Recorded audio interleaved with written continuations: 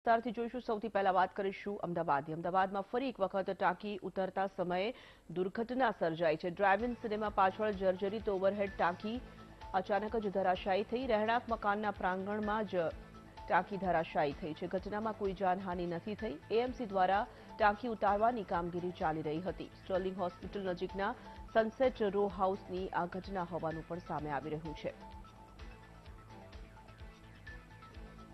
તો જર્જરિત થયેલી ટાંકી ઉતારવાની કાર્યવાહી એએમસી દ્વારા એક બાદ એક જે હાથ ધરવામાં આવી રહી છે.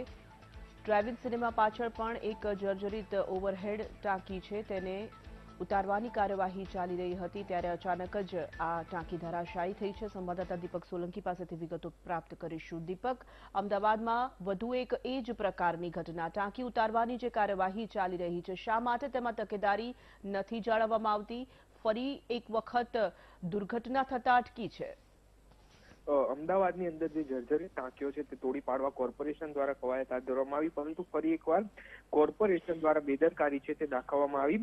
ડ્રાઇવિંગ સિનેમા પાસે જે સનસેટ રો હાઉસની જે ટાંકી હતી તે ઉતારવાની કામગીરી ચાલતી હતી ત્યારે કોન્ટ્રાક્ટર દ્વારા જે ગફલત ભરી રીતે આ ટાંકી ઉતારવામાં આવી, જેના કારણે કેટલોક ભાગ જે છે તે મકાન પર પડ્યો હતો. હાલ તો કોઈ જાનહાની કે કોઈ ઘટના નથી સર્જાઈ, પરંતુ ક્યાંક જો ધ્યાન રાખવામાં આવે તો આવી દુર્ઘટના ના સર્જાય.